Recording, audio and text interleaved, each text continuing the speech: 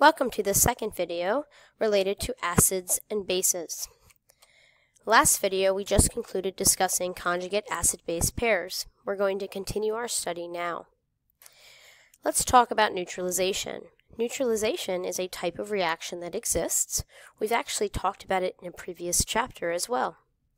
It is when an acid plus a base make a salt plus water. We know that acids start with H, we know that most bases have an OH. Salt can actually be any ionic compound. Doesn't matter what kind. And then, of course, water is just H2O. The reaction that takes place is a double replacement reaction. As you can see here, the sodium and the hydrogen switch places, and then we crossed our charges. If you need review on that, please visit the Chapter 4 PowerPoint related to reactions. So one of the products for these is always going to be water. So what I like to do when I complete a practice problem is I like to separate out the water first. So this is going to make H2O. That means that this OH here and the H here go away because they're already accounted for. And then I now know that I have to combine my K and my SO4. K has a plus 1 charge, and SO4 has a minus 2 charge. So when you cross them, you would get K2SO4. Okay. Something connected to neutralization is salts.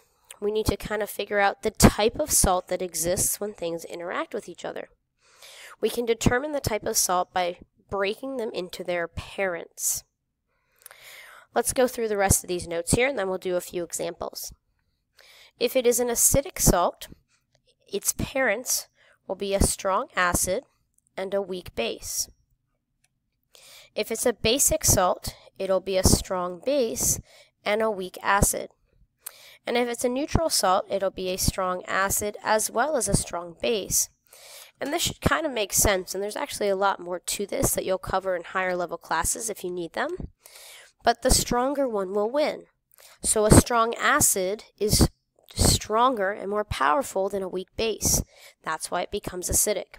A strong base is stronger than a weak acid. That's why it becomes basic. And if they're both considered strong, we say they have the same strength, and therefore we produce something that's neutral.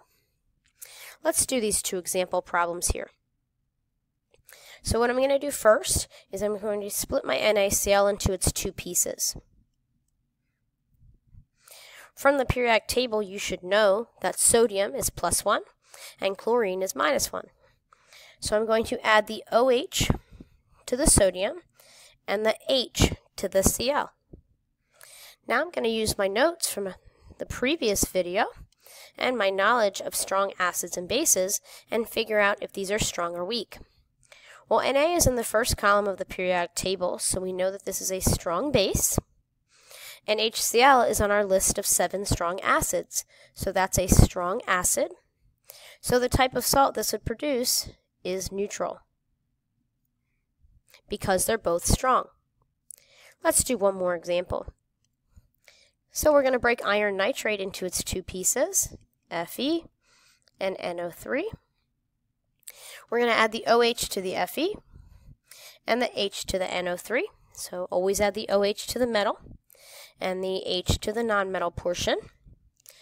And then when I look at my notes, I realize that Fe is not in the first two columns of the table, and therefore it's going to produce a weak base. And that HNO3 is in our list of seven, so it's going to be a strong acid and therefore this is going to produce an acidic salt.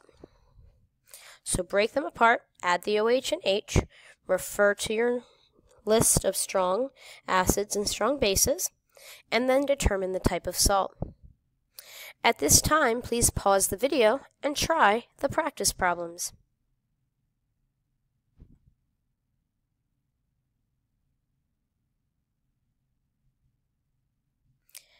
Please check your answers. You should have gotten basic for the first one, acidic for the second one, and neutral for the third. Oftentimes I am asked, well, H2SO4 is not exactly the same as HSO4. technically we should be crossing our charges for these. And if we had crossed our charges, this would have become H2SO4. Okay, so really for the most part in this course, as long as you're adding the OH and the H where you're supposed to, and it matches almost perfectly with something that's on our strong list, you should be good to go. Let's continue on. We're now going to talk about the ionization of water. We've actually already briefly talked about this in video number one. Water is amphiprotic, which means it can act like an acid or a base. Okay, and it is known that at 25 degrees Celsius, only 1.0 times 10 to the negative 7th molar of each ion is produced. Therefore, when I multiply them together, the product of these will always be 1.0 times 10 to the negative 14th. And we've actually already discussed the equation here. It's something that you're going to want to know for the test on this unit. But Kw is the H plus concentration times the OH minus concentration equals 1 times 10 to the negative 14th. Mathematically, it's not too bad. We're always going to take the constant divided by the given concentration. Okay, so no matter what, mathematically, you will always do this. Take the 1.0 times 10 to the negative 14th divided by the provided number. And that will tell you the other concentration. Okay, so for this first example here, all right, we have our 1.0 times 10 to the negative 14th. And I'm going to divide that by the given number of 3.2 times 10 to the negative 5th. When I do that in my calculator, I should get something like this.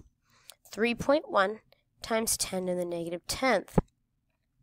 Okay, so mathematically not too bad. The other part of the question that you're going to potentially be responsible for is telling your instructor if it's acidic, basic, or neutral. So here's how we're going to do that. If the H plus concentration is larger than the OH minus, it's acidic.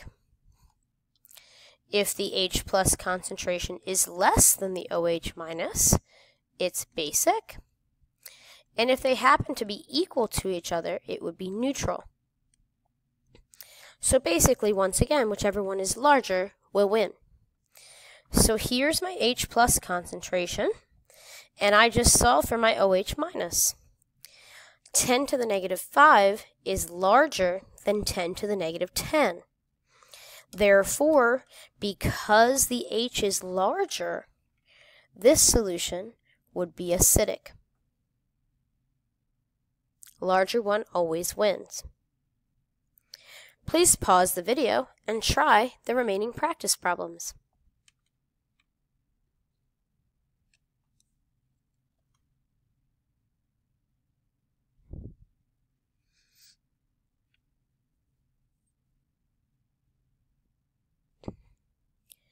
Please check your answers.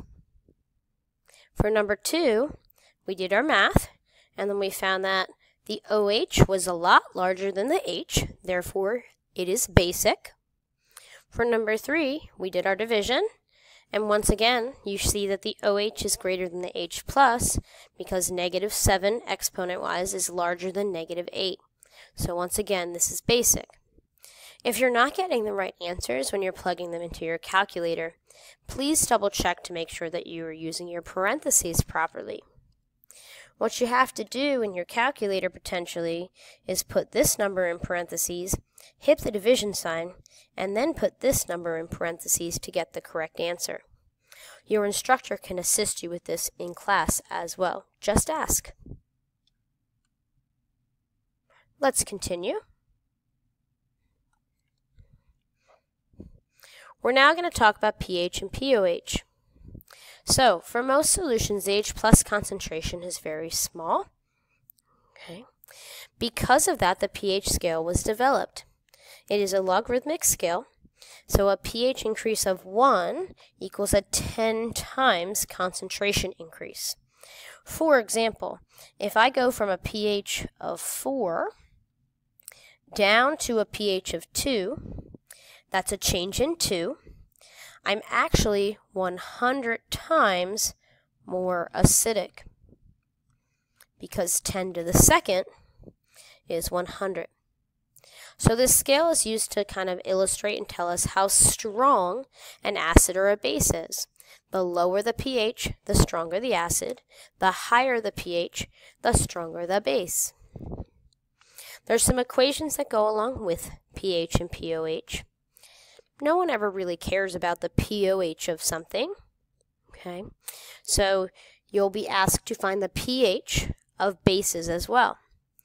If you're given an acid, one that starts with an H, you're going to use the first equation here. pH equals the negative log of H plus. Sometimes what I say instead is that pH equals the negative log of whatever the acid is. Okay, and then I'm done. For bases, I have to first find the OH concentration, and then I have to subtract from 14. So POH plus POH equals 14.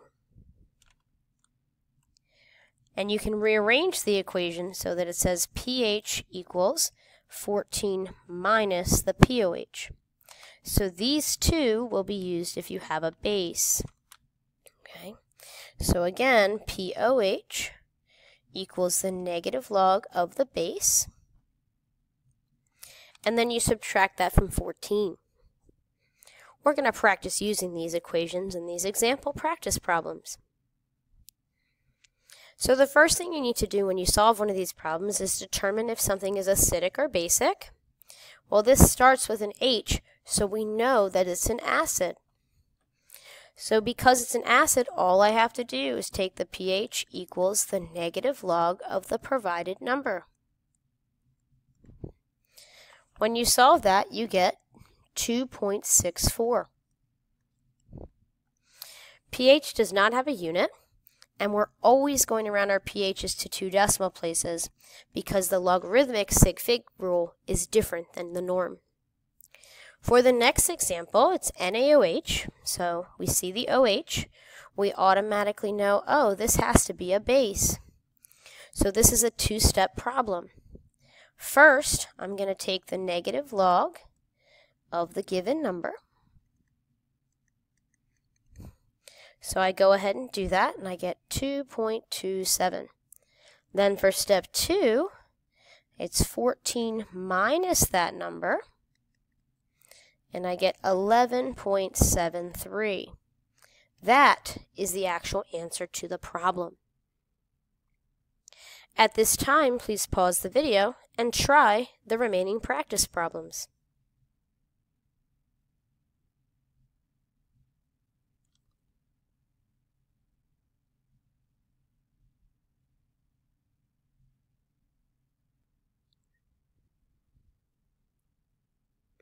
Please check your answers.